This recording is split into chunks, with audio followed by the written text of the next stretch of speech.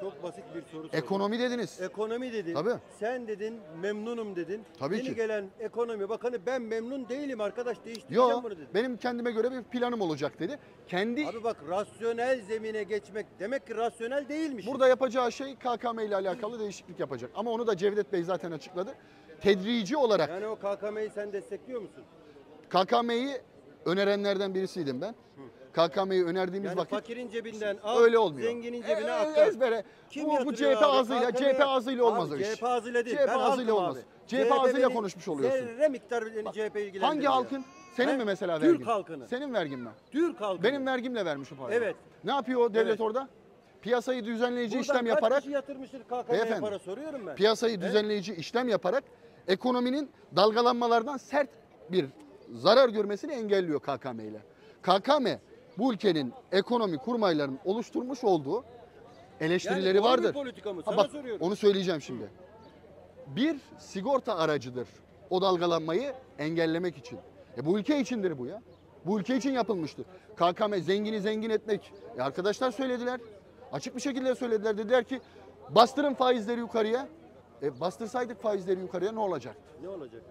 İşsizlik fırlayacaktı. Yatırımlar duracaktı. e, Yok. Yok. Bak işsizlikten bahsedemezsin. Şu an. Bak fiyat artışından an işsizlik bahsedemezsin. Yok mu? Bahsedemezsin. Neden? Her yerde istihdam için eleman arıyorlar. Niye? Çünkü söylemiş olduğunuz ekonomi politikasının gereği bu zaten. Bu ekonomi politikasında fiyatlar artar. Ama işsizlikten bahsedemezsiniz. Çünkü Yani sürekli işsizlik yatırımlar yok mu olur. diyorsunuz? Kesinlikle. TÜİK var diyor. Bak TÜİK'in açıklamış olduğu rakamlar formel dediğimiz rakamlar ama siz de bir vatandaşsınız burada. Burada bir sürü de vatandaş var. Gayri resmi gider çalışırsın bir yerde Şurada, gözüküyor. hayır hayır şundan bahsediyorum. Şurada herhangi bir yere gittiğiniz zaman sizi işe alacak bir işveren vardır.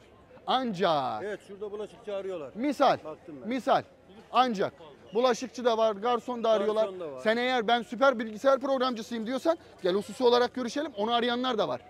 Onu arayanlar da var. Ama meselenin özü şu. Atanamayan öğretmenler konusunda ne düşünüyorsun? Kim öyle bir garanti vermiş? Mesela şu Atanamayan anda öğretmen ne eden demek? Avukatlar. iş Et- bulamayan, etmesinler. ge- Geçinemeyen avukatlar. Etmesinler. Beyefendi söylediğiniz şeyin saçmalığının farkında mısınız? Ne gibi saçma? İntihar ne gibi eden saçma? avukatlar. Beyefendi ne iş saçma? yapıyorsun? He? Serbest iş yapıyorsun. E, birisi sana demedin mi ya benim maaşımı kim verecek? Soralım da vatan. Böyle saçma şey mi olur? ya? şimdi- İntihar eden avukatlar. E Hayır. gitsin dava bulsun kendine. Onu da ben mi vereceğim? Tamam da e, yani e, Evet. her yere hukuk fakültesi açarsa. Açacaksın tabii ki en iyi avukatı yetiştirmek için. Bir sürü ama bir şeyin bir planlaması olmaz mı?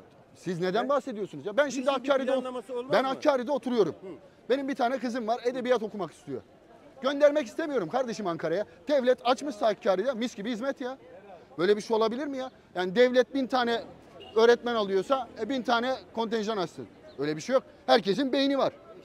Ben mesela şunu söylüyorum. Yani bunlar Diyorum devlet ki tarafından planlanmalı değil mi? hayır tabii ki planlanmayacak ya. Vatandaş orada tercihte bulunacak. Vatandaş onu takip edecek.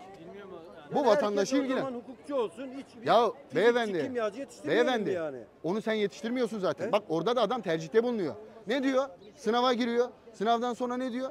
Ha, fizik. Ben fizik okumak istiyorum diyor. Fiziğe gidiyor. Şimdi avukat olan arkadaşlar var. E adam dizi... Eğitimde çocuklarımıza Evet. ilkokuldan itibaren o yönlendirmenin yapıldığını düşünüyor musunuz? E, o ailesi var, kendisi var. Ailesi var, kendisi var. Ailesi okul Yani ay- 18 ay- yaşına bakın, gelmiş bir bireyden ailesi bahsediyoruz. ayrı, ailesi ayrı ama okullarda bunun yapıldığını Beyefendi musunuz? 18 yaşına gelmiş bir birey. Bu evlenebilir. Bu çocuk sahibi olabilir. Yani bir insanın doğmasına vesile olabilecek duruma gelmiş. Silah ruhsatı sahibi olabilir. Holdingler de kurabilir. Bak holdingler de kurabilir. Mümkündür. Yapanları var. Yani eğitim sistemimizin e, düzgün olduğunu düşünüyor musun? Nerede bitiyor iş biliyor musunuz? Bireyin kendisinin gayretinde. Ama O- birey o bireyin o Birey. kabiliyetlerini bak bireyin bir kabiliyeti vardır. evet. O bireyin kabiliyetlerini ortaya kim çıkartır? E, Burada ailesi var, çevresel faktörler var. geçtik tamam aile de yani kim çıkartır? İşte ailesi var diyorum, çevresel faktörler var. Eğitim sistemi var. Hepsi Eğitim var. sisteminde. Yekün bu. Ama siz şimdi Halk TV ile büy- büyüyen bir nesle bir idealizm aşılayamazsınız. Niye? Çünkü izlediği televizyon karşı kanalında adam diyor ki ya TCG'yi yapmışlar ama diyor iki tane bombalı kişi var. E şimdi gerizekalı olur bu çocuk. Bunu izlerse gerizekalı olur. E şimdi adam burada yapmış SİHA'yı. Bahsettiğimiz platformlardan bahsediyorum. SİHA'yı yapmış. Ukrayna'da bir zafer kazanılıyor. Bütün dünya hayran. Libya'da zafer kazanılıyor. Ermenistan'da kaç yıldır sorun, çözülemeyen sorun çözülmüş. Terörle mücadelede muazzam iş yapılıyor. Adam diyor ki market o diyor ya. Markette satılıyor alın birleştirin. E şimdi bu adamı bir çocuk Sen seyrederse adamın sözlerine itibar edip bunu bana mı anlatıyorsun? ondan bahsetmiyorum. Buna itibar eden adam Ben itibar etmem o söze. Ben Ukrayna'dan geliyorum. Doğru söylüyorum.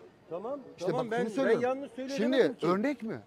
Selçuk Bayraktar. Ya ben ekmekten Misal. girdiğim sihadan çıktık abi yani. Ama Şimdi- sen getirdin oraya. Dedin ki eğitim sistemi ben. dedin. He. Öğretmenler atanamıyor dedin. Tamam bak ben dedim Ben ki demedim, bir ben çocuğun- ekmekteydim. Bir çocuğun bir, bir çocuğun bir çocuğun bir kabiliyeti olur. Bir şeye kabiliyeti Tabii olur. ki Ama Allah onu- herkesi bir onu kabiliyet bilemeyiz. üzere Çocuk yaratmıştır. da bilemez. Onu ortaya kim çıkaracak? Ya burada işte ne diyorum?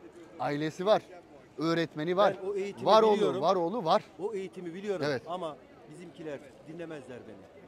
Beyefendi sizin alanınız ne? İhtisasınız ne? Ben Bilmiyorum. halk- halkım. Halkım diye Yaşadım, olmaz o iş. yaşadım, Ezbere konuşma. gördüm. Yaşadım gördüm. Yurt dışında burada hepimiz yaşadım, söyleriz. gördüm. Yurt dışında burada yine çok yaşamış vatandaşımız Japonya'yı var. bilir misin?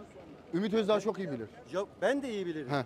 O orada doğmuş, Ben büyümüşüm diyorsun. şuuru yerinde değilmiş. Ben 40 yaşında gittim, 8 sene kaldım. Evet. Şuurum yerindeyken gittim. Anlatabildim mi? Çocuklarımı da orada okula gönderdim. Eyvallah. Biraz Japon eğitimini araştırın. Ben eğitimci Başarılı- değilim beyefendi. başarılı- Benim ihtisasım sanayi politikaları. Ya Şimdi sanayi eğitime politikaları eğitimci da- arkadaşımız Ama bakacak. her konuda Sanayi. beyan ediyorsun. Ben Siz sordunuz izliyorum. ya. Siz her sordunuz ya bana. Ben Size de- bana. Ama o konuda Neyle? Ama, değilim, 8 ben yıl Japonya'da değilim kaldım. Ben eğitimci değilim diyorsun. Sen her konuda fikir beyan eden bir adamsın. Ben seni takip ediyorum. Sosyoloji. Tamam. Lisans diplomamız. zaten. Lisans diplomamız. Lisans diplomamız İstanbul Üniversitesi'nde. İlahiyat. Hakeza. Sanayi politikaları dedim. İstanbul Ticaret Üniversitesi'nde. Biz yetkin, ilim sahibi olmadığımız hiçbir alanda konuşma yapmayız. Ama söylemiş olduğunuz meseleyle alakalı şunu söylerseniz bir politikacı olarak söylerim. İşte ben hükümete tavsiye vereceğim ama beni dinler mi? Öyle tavsiye olmaz arkadaşlar. O işin erbabı vardır. Ha erbabıyla oru- görüşürsünüz. Erbaplarını anlatırsınız. Dersiniz ki beraber abi bir dosya yapalım. Hükümete Bir sunalım. kısımda herhangi bir konuda bir kısım dertlerimiz varsa. halk- Evet. Halk. Politikacılara Halk- anlatırsınız. Halk olarak yani diyelim eğitimde, sağlıkta, ekonomide, güvenlikte değil mi? Her şeyde yani. Eğer bir şikayetimiz var ise bu şikayetimizi dile getirmemiz Yo, normal bir şey değil mi? Normal bir şey. E ben de onu söylüyorum. Bundan yana bir sorun yok. Ben Siz şunu söylediniz. Dediniz ki ben bunu söylediğim vakit devlet beni dinleyecek mi? Devlet değil, politikacılar.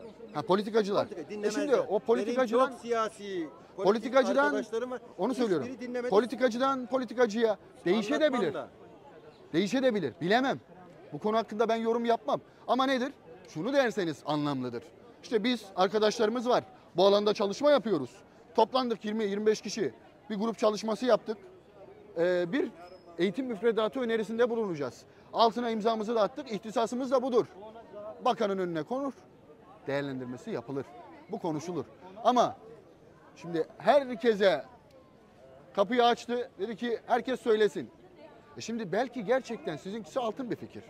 Bilemem. Öyle bir şey yok. Ben illa benim fikrimi Bilemem. çok Misal. şeydir demiyorum. Altın bir fikir. Bilemem.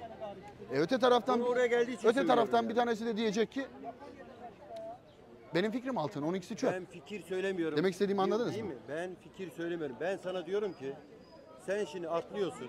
Paran pulun vardır. Japonya'ya gidiyorsun. Bir ay kalıyorsun. Eğitim sistemini araştırıyorsun. Bu adamların başarısı nereden kaynaklanıyor? Şimdi bu, Bu çocukların biz zaten beyefendi burada sıkıntı bu çocukların yaşıyoruz. kabi- kabiliyetini nasıl ortaya çıkartmış? Biz burada sıkıntı yaşıyoruz. Nasıl bir eğitim? Mesela eğitim Hayır başka, hayır bak sıkıntı öğretim başka. sıkıntı dediğimiz nokta bizim burası. Sizin söylemiş olduğunuz metodoloji var ya. O metodolojinin ben en karşıtlarından bir tanesiyim. Niye biliyor musunuz? Söylemiş olduğunuz metodu farklı bir biçimde uyguladılar yıllarca. Fransa gelişmiş. Fransa'dan alalım. İlla Misal. hükümet için söylemiyorum. Yok, yok. onu, Genel olarak söylüyorum. Orada zaten Türkiye'nin genel sorunu bu. Batılaşmanın yanlış anlaşılması ve Batı'nın sisteminin bu topluma dayatılması. Bununla alakalı vergi düzenlemelerinin kitaplarını okumuştum ben.